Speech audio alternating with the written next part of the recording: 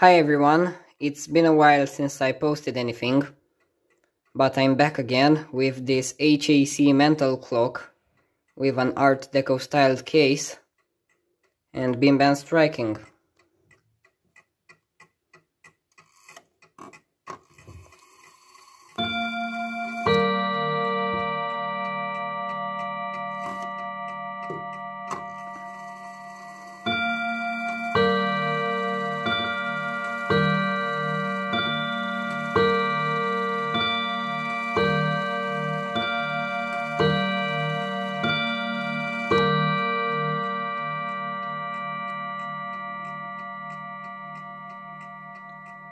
As you might observe, this clock has no bezel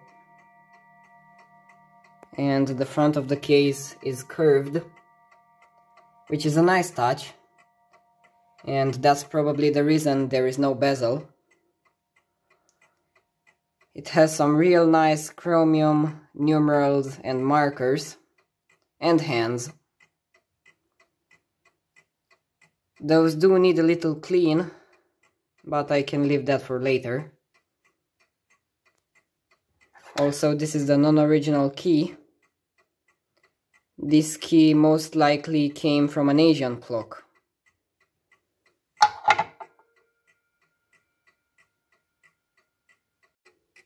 Inside the clock we find this Junghans W77-400 movement, which means this is not a genuine HAC.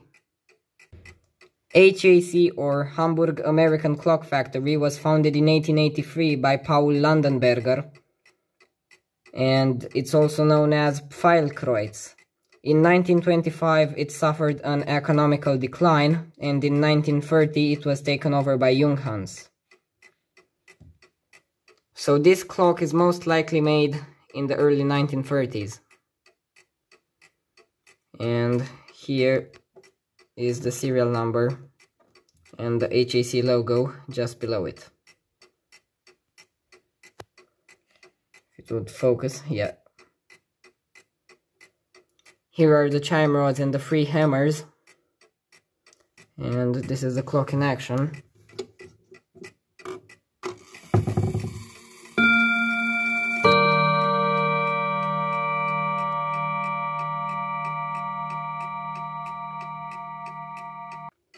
This clock has a safe mode for the chime rods, and with safe mode I mean that when the clock is transported, the, the risk of breaking the chime rods is very low.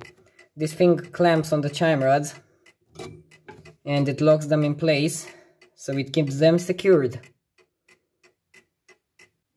I've taken the movement out of the case and I discovered something quite interesting. This lever right there that someone bent in the past is interacting with a cam on the center wheel and on the hour it would lift the high note hammer out of the way so only the low note hammers would strike on the chime rods. Which is something unusual, I've only seen this type of lifting thingy on two-train quarter striking movements, but never in a clock like this. I wasn't very active on YouTube these days because I'm working on something very interesting.